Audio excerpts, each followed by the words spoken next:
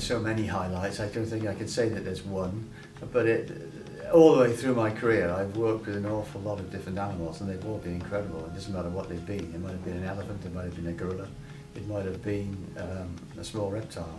But the point is, you're working with an incredible amount of animals, and that's so so important. And on the way, you meet a lot of interesting people. You work with a lot of interesting people, and if you network and get to know people elsewhere, you meet them too. And those are the highlights, and they, they go on and on. They don't stop. I've always been fascinated by animals and nature. As a young child growing up in South Wales, I was a very keen bird watcher and was out and about doing those kind of things, and there was a lot of opportunity to, to see the nature really.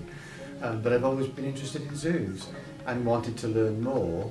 And my very first visit and a memory of a zoo and an animal in the zoo was going to Bristol Zoo when I was about four and a half, five years old to see a polar bear cub. Um, and that's always stuck in my mind and it made me want to do that. And all the way through, from about the, the age of five, four and a half, five, I wanted to work in a zoo and that's of course what I've done. I've never regretted it for one second. Zoos have changed and they're changing rapidly and they have to evolve and there's nothing wrong with that. I've been, I worked for Bristol Zoo for 45 years and of course I've seen many, many changes. The thing that strikes me most in, in the more recent years, I think, is the, the pressures for finances and the need to be more commercial. And although I can understand why that has to happen or is happening, it still hurts. And I think sometimes zoos have gone a little bit too far onto the commercial side and they're losing their their vision and their understanding of what we're here for, which is for the animals. And the most important thing of all is for keepers to remain dedicated to their livestock. Th those animals rely on us all the time and whatever happens, it's so important that keepers do not, never ever let your animals down. You always have to be there for them and that must never change. I think to begin with, in 1975 when I started, it was very much focusing on looking after the animals. Um, dealers were still involved then, animals would come in and out through, through uh, animal dealerships. And what's really changed is the way that zoos focus on conservation, uh, working together with species um, in managed programs really throughout the world, but also focusing a lot more now on in situ conservation and staff being involved in that. That's so very important. Cooperation is very important as well. Um, some of you may remember that I edited some guidelines, management guidelines, husbandry guidelines for, for cats and for, for bears and um, some other animals. Mustelids was another one. There were no guidelines in, in sort of the um, uh, 30 or so years ago. And now, of course, there's guidelines all over the place. ABWAC's involved with them, uh, and so, of course, is BEASA and EASA. Uh, and that's been a big change. And cooperation, uh, working together, um, the Okapi program that Bristol's been involved with uh, for many, many years, initially it was just a small consortium of five zoos, I think it was. Now zoos work together, not just with Okapi, but with all sorts of species. And the cooperation is much, much better. And I'm also really impressed by the way that keepers will share their information. I know that I can contact people and ask a question if I don't know the answer. And I'm here to answer those questions. And I've had people, I once had somebody ring me up from Moscow Zoo asking about how to handle a sloth and wanting some advice because they struggled. Or a conversation with a colleague in Edinburgh because there was a problem with a pygmy hippo calf. And this is what we do. We're all in this together as a family and the cooperation now is so much better.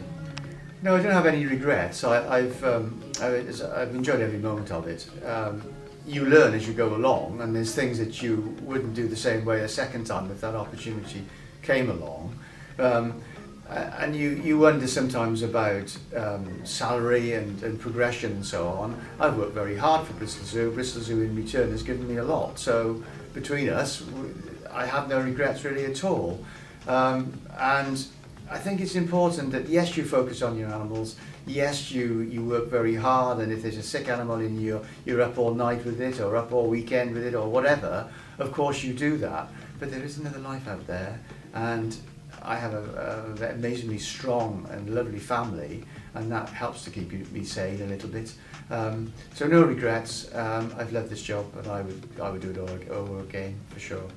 Keepers, understandably, are very uh, almost possessive about their animals. They're very protective about their animals, and I don't argue with that or disagree with that at all. But as you move up the ladder, you have to start thinking of other things. You have to start thinking about people if you're a manager. You have to start thinking about money, about budgets, um, the best way of transporting an animal from A to B, uh, costs involved, of course the welfare of the animal is important. So my message really is when you're dealing with the day-to-day -day stuff, think of the wider picture. Think about what your manager has to think about. Think about the media and if you have a press officer, what he or she has to deal with and be flexible. I've come across many keepers who at the very start of their career or early in their career almost label themselves, oh yes, I am the primate keeper, I'm the reptile keeper, whatever it is. And that's okay, because you do need to have a core interest and you want to develop that knowledge. For me, it's mammals, always has been, always will be.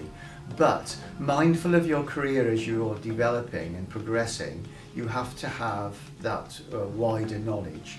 Um, I worked in the reptile house in the aquarium at Bristol Zoo for, for three years and as I then became the, the, the senior curator and the head of the department, I had enough knowledge to be able to talk to my aquarium curator and know what I was talking about and understand what she, where she was coming from and to give support. And that applies for uh, bird cur curatorialship and, and reptiles and, and everything else. So it's important not to label yourself too quickly about being what you think is a specialist.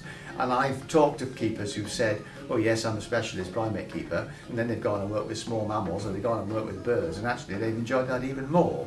So that's important. The other thing, or other things, networking. You're a member of ABWAK, use that facility. Go to workshops, go to the symposium, visit other zoos, make yourself known, write an article or two. They don't have to be uh, really deeply scientific, but if you've done some good breeding or you've got some good ideas for enrichment, whatever it might be, get them down, get them published. Have a bit of confidence in, in taking some photos and, and, and making those, um, those records. That's important, and training's important.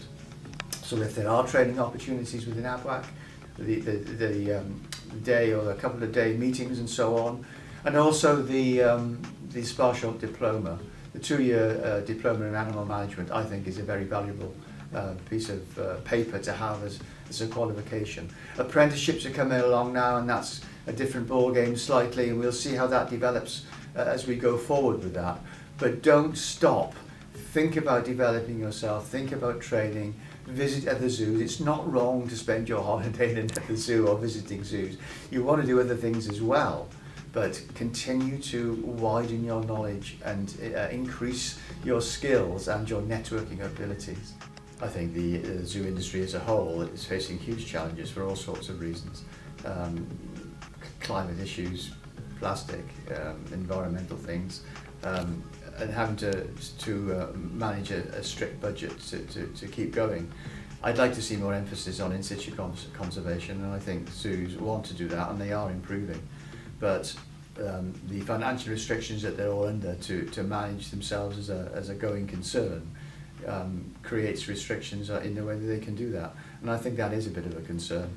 I'd also like to see a little bit more bite with uh, zoo legislation and zoo licensing and the inspections and so on. Um, I think particularly the local authorities are under a lot of pressure in terms of not having the resources and probably the skills to, to follow up what happens at a zoo inspection. Like the um, inspectors are fine and they know what they're talking about and they will make recommendations and conditions and so on and so on. Um, I've seen a couple of instances where for one reason or another the local authority hasn't been able to follow up on those um, on, on that, uh, those conditions or recommendations and that's a weakness that I'd like to see uh, improved really and I think it would. Um, it's a very good inspection system and probably the best in Europe still, um, but I think it could be better.